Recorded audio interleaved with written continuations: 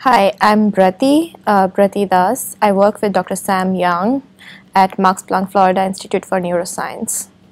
We are studying the brain, the auditory function of it, how sound is being localized.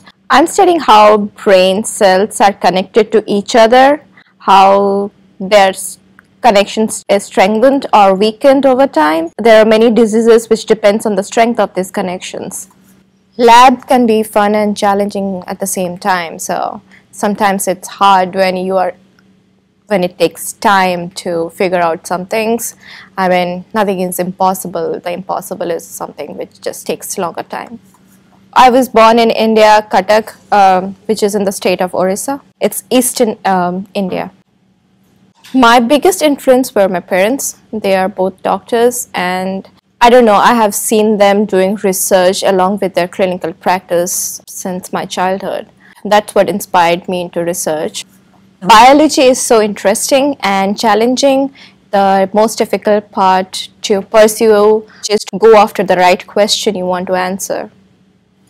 The hardest part would be staying away from my family, um, my family, my parents are in India, my husband lives in Chicago, I live here. We are all pursuing our careers right now.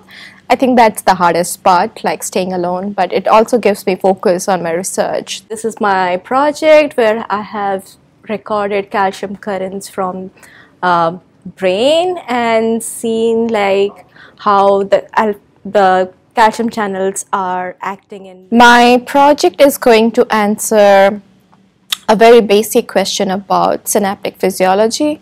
Understanding this physiology in a has a long-term potential of delivering its impact into many drugs, um, like developing drugs for disease conditions like epilepsy or ataxias.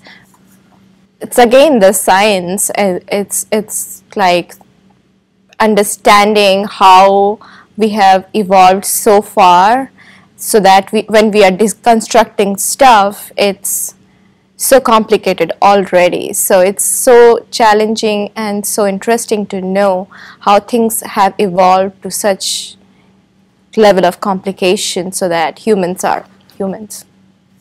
If you are interested in research, be it be like biology, physics, chemistry or anything, it's intellectually very challenging and very time consuming. So should not be expecting a impact right away. You have to have patience.